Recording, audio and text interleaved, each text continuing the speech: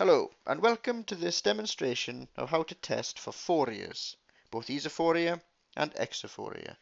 Now as we saw in the previous video, cover testing is ideal to look for tropias, manifest deviations, whereas phorias are only picked up by cover uncover testing and in extreme cases by the uncover uh, uncover test. Let's demonstrate here. We will cover this patient's left eye and we see absolutely no movement of the right eye and when we uncover there is again no movement of either eye. Let's repeat the same procedure with the right eye. We cover the eye, nothing.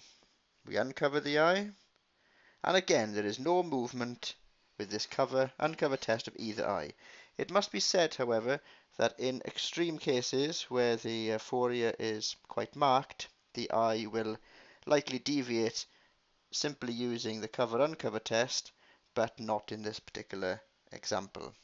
The alternate cover test is what is needed, and this will be demonstrated thus. We move the occluder from one eye to the next, not too quickly. It's important to linger for a short while to dissociate the image in the brain to bring out the full phoria. As can be seen in this particular case, as the eye is uncovered, the eye flicks outward.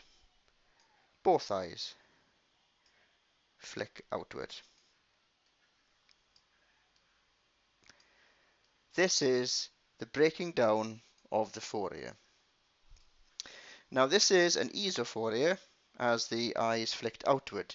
Now we will demonstrate the same phenomenon with an exophoria, in which the eyes are held together when both are open, but when uh, fusion breaks down due to the cover-uncover test, uh, we will see what occurs. So we cover the right eye again, nothing. Uncover, nothing.